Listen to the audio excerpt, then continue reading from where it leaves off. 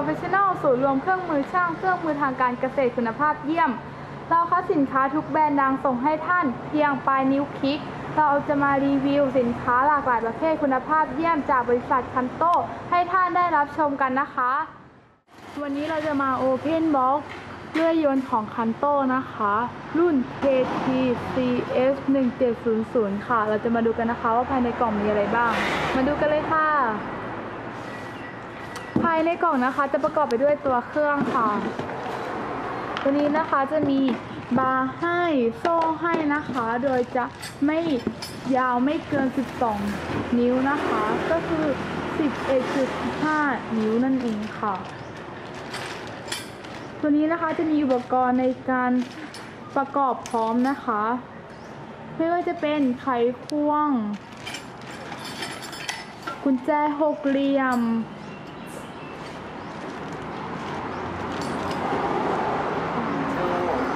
แล้วก็จะมีโซ่นะคะ ประก อบเลยไหม ต่อไปนะคะจะเป็นการประกอบเครื่องนะคะ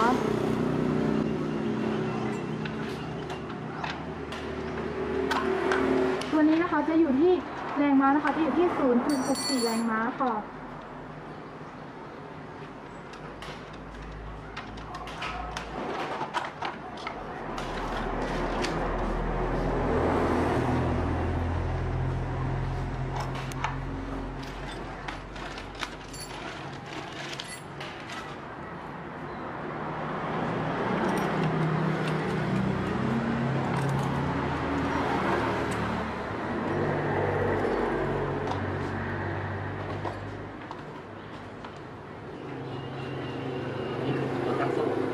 นะคะ จะเป็นตัวตั้งโซ่นะคะ เวลาใส่โซ่นะคะ เราก็ต้องดูแนวโซ่ด้วยนะคะ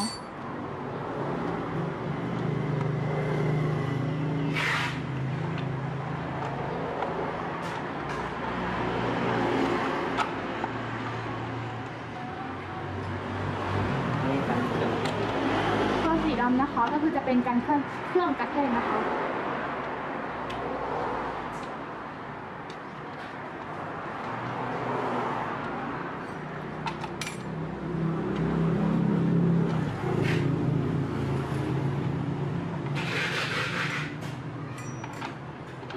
ตั้งให้ท้าย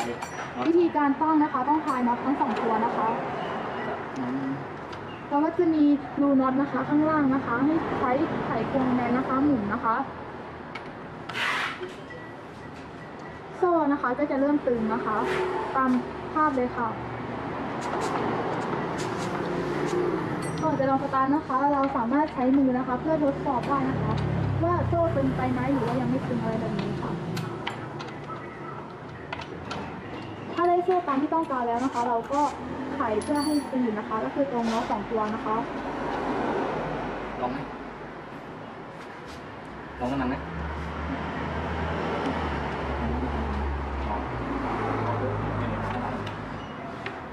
ดูไปสก่ออนนเลยนะว่าวิธีแบบโค้ชที่บอกเลยดูไปก่อนเลย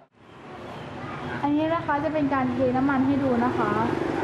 อันนี้เป็นน้ำมันเบนซิน อันนี้จะเป็นน้ำมันเบนซินนะคะ เนื่องจากว่าเป็นเครื่องเบนซินสองจังหวะนะคะ ส่วนน้ำมันอัตโนมัตินะคะ เราจะใช้เป็นน้ำมันสองทีนะคะ เราเทน้ำมันไปขนาดนี้ เราเทน้ำมันไปนะคะ ตามขีดที่เขากำหนดนะคะ แล้วเราก็เทออโตลูปลงไปเท่าเอาตัวรูมนะคะก็คือในระดับเดียวกันนะระดับคะนี้ก็ให้คืดูอด้าน25ต่อหนึ่งให้ดูได้25 ต่อหนึ่งนะคะ ตัวนี้นะคะที่น้ำถังน้ำมันตัวนี้นะคะ ที่วัดระดับนะคะ ก็คือจะมีแถมมาในในกล่องด้วยนะคะ ไม่ใช่เฉพาะมีเฉพาะใช้ที่ร้านนะคะตัวนี้เราแถมให้กับกล่องนะคะพอเมื่อเทสเสร็จแล้วนะคะ เราก็จะมาเขย่าผสมกันนะคะ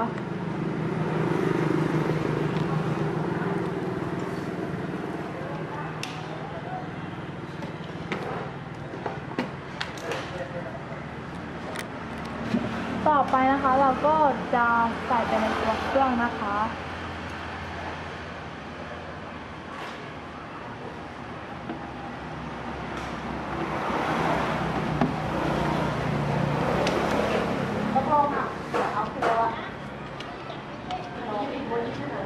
ไม่ใช่ ไม่มีใครยิบเลย อันนี้เป็นสายมันตัวนี้นะคะจะเป็นสายน้มันนะคะ เป็นน้ำมันหลอกโซ่นะคะ เราไปใช้น้ำมันสะอาดอะน้ำมันที่ก็มีขายน้ำมันอะไรผสม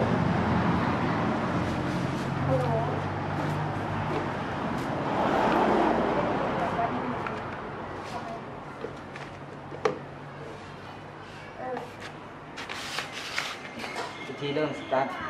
ยกเปิดสวิตช์ดึงโชคไล่อากาศ อันนี้นะคะดึงสองสามครั้งนะคะ เพื่อเป็นการไล่ลมออกนะคะถ้าดังลักษณะแบบนี้แล้วให้บีบคันเร่งครับถ้าเราดังแบบลักษณะแบบเมื่อกี้นะคะ เราจะต้องบีบคันเร่งนะคะ แล้วสตาร์ทอีก